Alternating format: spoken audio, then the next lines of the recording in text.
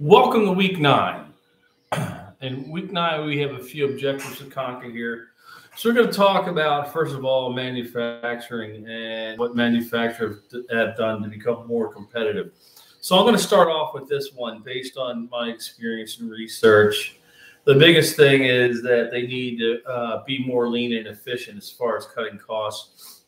So one of the things they're doing is they outsource, and we've talked about this before actually gave you a pretty substantial assignment, I think, in week two about outsourcing and some challenges with that.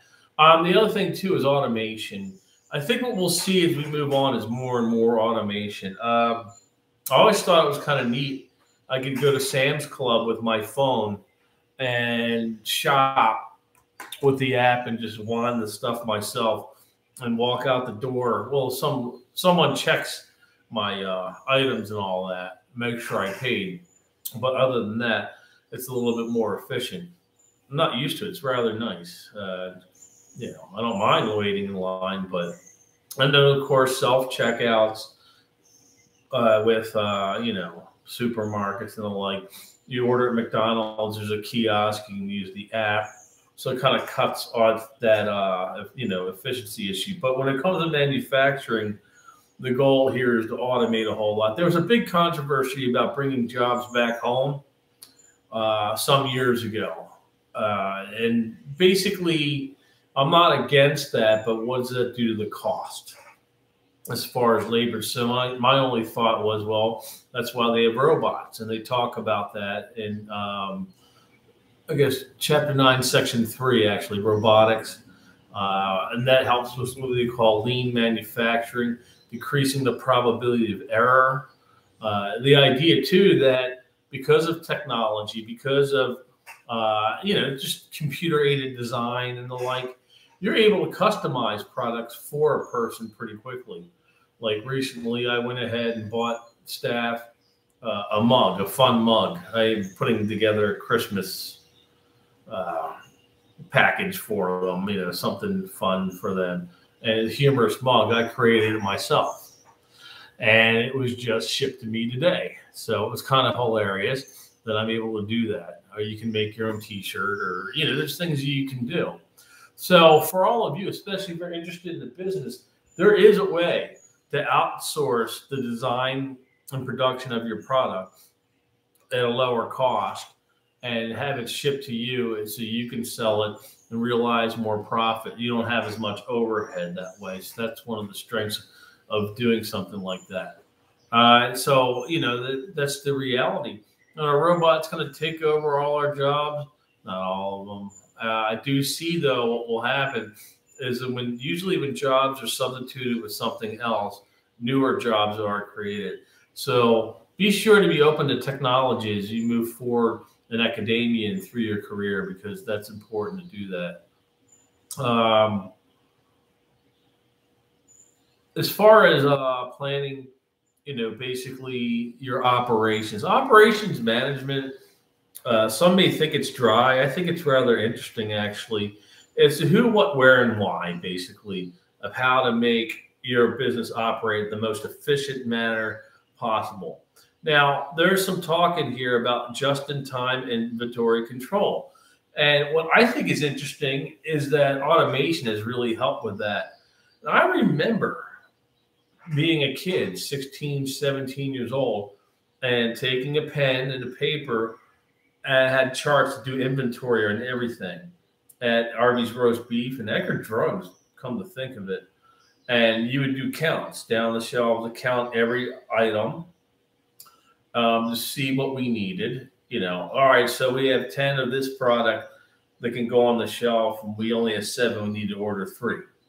So nowadays, though, what happens is you want in the product, you know, electronically, they can automatically send a message to the distributor that at a certain point, more of that product needs to be um, ordered and it's automatically done. So you don't have to worry about it.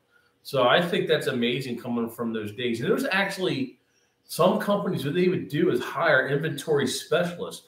You have a team of people who run in and do the inventory work. So I thought that was really interesting. And we've changed so much there. And it's a good thing. And it's all about lean. Lean manufacturing, in many respects, has to do with manufacturing enough to meet the needs of the consumer so you have less surplus.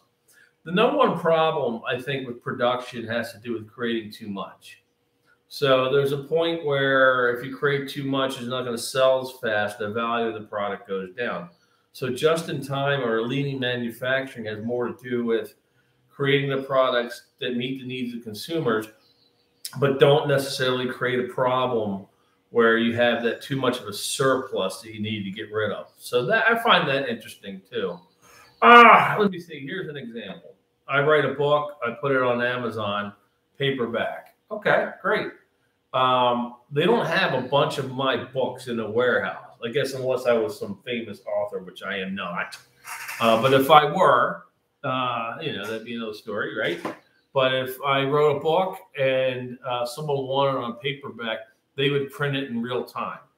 So that's and pretty quickly too, because it's just automated, and that's called lean manufacturing. So mass customization, that's a whole nother world. I like this. So there's certain products and services that can be customized. So if you're interested in running a business and you're able to do custom work, uh, that'll give you an advantage maybe over trying to sell one particular product uh, that might not meet the needs of those consumers. If you're able to customize, like for instance, when I customized those mugs as a gift, I was able to create that based on what I wanted them to have, uh, rather than you know saying maybe they'll like this. I know what they'll like, so I created it for them, and it only took a week to get here.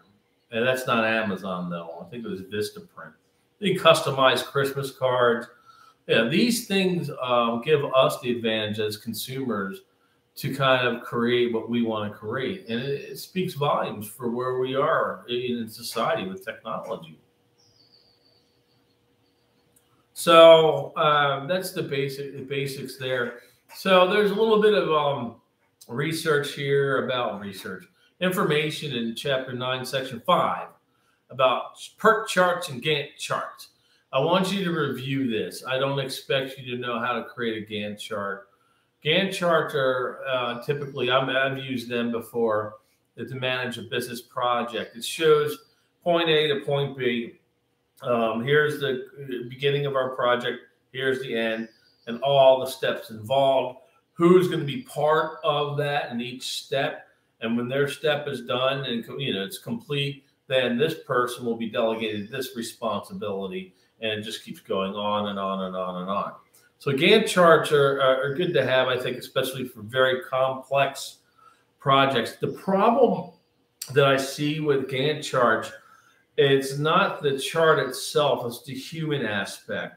So what if someone does not meet the deadline for whatever reason? Maybe there's an emergency, they're sick. Who's going to jump in and help to get us on, keep us on that project, you know, that project timeline? So sometimes we can have goals that are too um, too lofty. In other words, you know, sometimes they don't give us enough time to complete our goals, and sometimes we give us we give ourselves too much time to complete our goals. So think about that in your life. What have you done in your life where you know you decided, oh, I want to be able, say, as an example, run a marathon in a month? Probably not enough time. But if you say I want to run a marathon in four years, you might not be as motivated because it's so far down. What's reasonable as far as timelines and deadlines? It's something to think about here when it comes to uh, business and all that. Again, some think this is boring stuff. I think it's awesome. Um, I've seen some talk about robots serving your food. I saw a video, if I can find it, I'll try to share it, of someone ordering a beer, and literally it was just flown to him in the uh, in the scenario. Just this like little drone that would just give it to you, and that could reduce the degree of labor needed in restaurants, I suppose. Of course, there is the issue with the overhead cost of the robots. I don't know how they're going to solve that. So, a lot of manufacturing in the United States has changed in the sense that there's automation and outsourcing. American companies must remain competitive. I'm giving the answers to the questions here on page 225. Americans must remain competitive in many respects by um, providing a higher quality product at the lowest cost possible and as a means for the company to make as much money as possible. Which we talked about that. Remember, we as ma- humans are maximizers.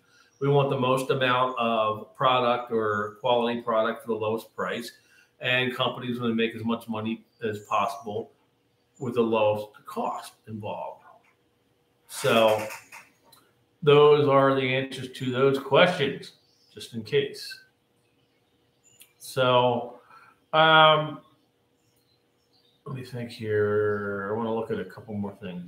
So, yeah, as far as commu- computer aided design, it's a way to go ahead and design something in, uh, you know, on the screen there to the customer's preference, and then they're able just to go ahead and print it out. So just to be on the lookout for robotics.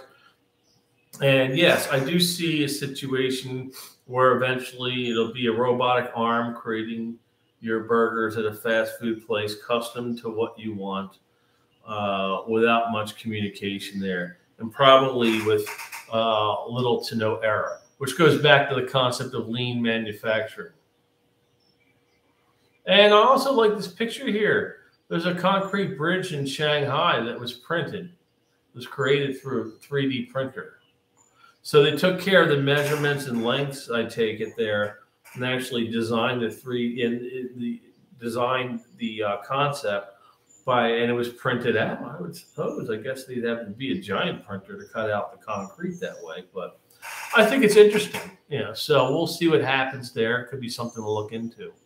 But other than this, remember time, you know, times will always change, innovations will always happen, technology is going to take over certain industries, but my humble opinion, this also means that other jobs will be created as a result. Thank you.